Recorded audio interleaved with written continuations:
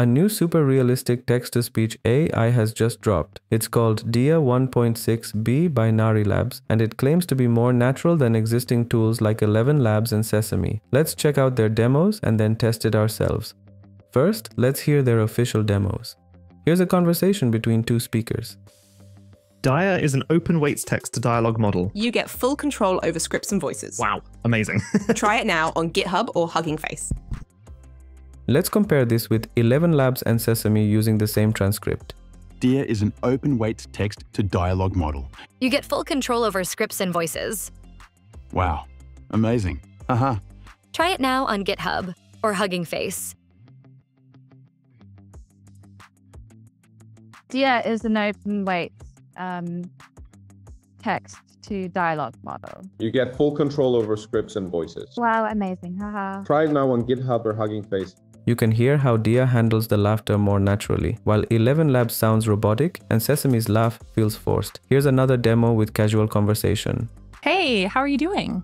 Pretty good. Pretty good. What about you? I'm great. So happy to be speaking to you. Me too. This is some cool stuff, huh?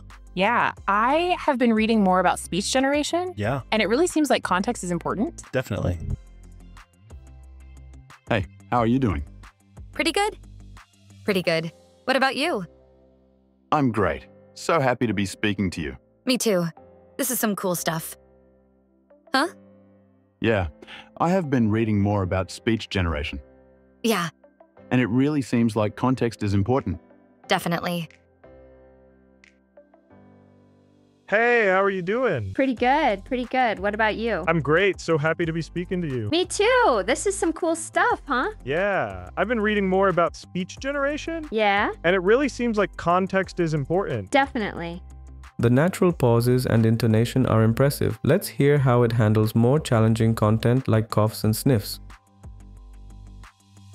Hey there. Why did you just cough?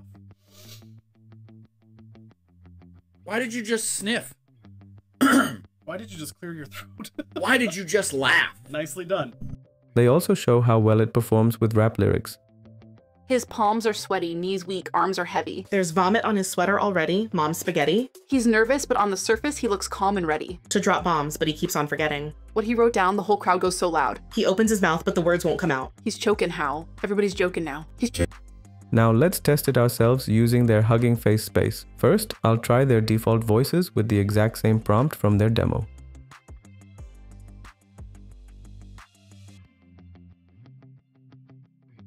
Dia is an open weights text to dialogue model. You get full control over scripts and voices. Wow, amazing.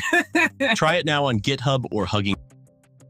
Hmm, that's not quite as impressive as their official demo. The voices sound more robotic and less natural than what they showcased. Next, let's see if it can clone my voice. I'll upload a voice clip of mine.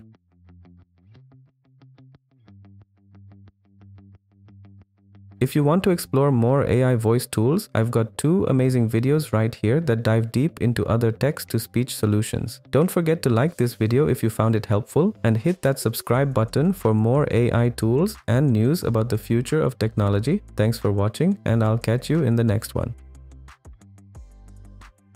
For the text input, I'll use Today we're testing this incredible new AI text-to-speech model. The results might surprise you. Let's generate the audio.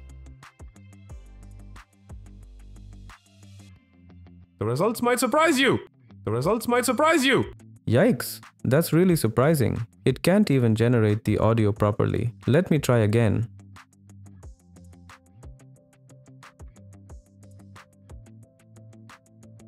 The results might surprise you.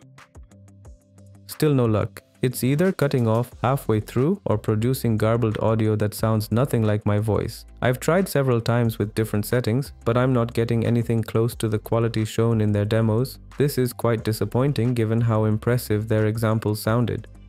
After testing Dia, I have to say I'm not nearly as impressed as their demo suggested. While their pre-made examples sound great, the real-world performance on the Hugging Face demo is inconsistent at best. Currently, it doesn't seem to match the quality of Sesame or other leading text-to-speech tools like Eleven Labs.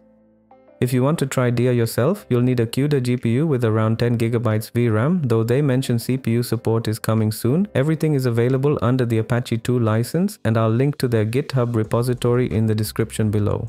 What do you think about these results? Drop your thoughts in the comments below and don't forget to subscribe for more AI news and updates. Thanks for watching and I'll see you in the next one.